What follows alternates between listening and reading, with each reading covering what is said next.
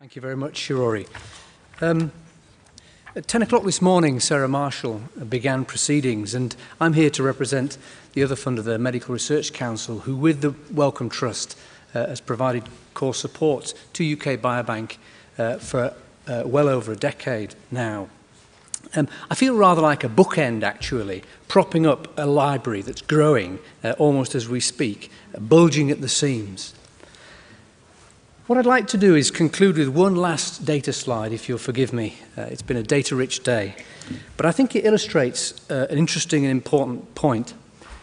What it shows, for those of you at the back, is the uh, growth of publications from 2005 through to the present day uh, to just short of a thousand different papers that have been published describing scientific findings, fascinating insights in biology and clinical medicine, some of which we've heard this afternoon.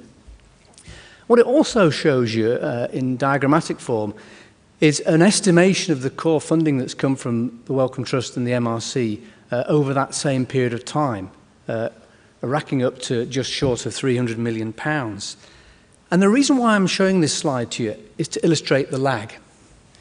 An extraordinary lag of nearly a decade from the initial funding injection to the point at which we're seeing outcomes from this investment. And this to me illustrates something that happened long before I became involved. It illustrates to me the vision of some of the investigators that you've heard speak today.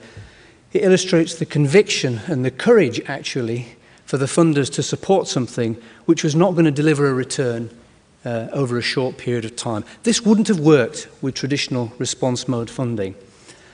And we've learned from this, and because of that, um, We've worked in a different way through UKRI and the Medical Research Council and the Office of Life Sciences to think about how we might uh, look to the future uh, and invest to create an advanced detection of disease cohort that you heard about from John Bell this morning. Um, we need to be patient to see the outcome.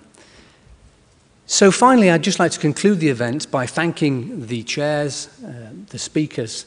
Uh, it's been fascinating for me to hear about many of the new initiatives, the new discoveries. But we should all thank the half a million people who've given up their time free of charge to become participants in the UK Biobank adventure, if I can call it that, many of whom are still engaged, involved in ongoing studies such as the imaging that Paul Matthews described to us just a few minutes ago. I sense actually that we're only just at the beginning. Uh, this looks like a very impressive exponential curve. I think we're at the beginning of this journey of discovery, And I, for one, am looking forward to the next 12 months to see what new exciting findings are going to emerge before our next annual meeting. Thank you very much.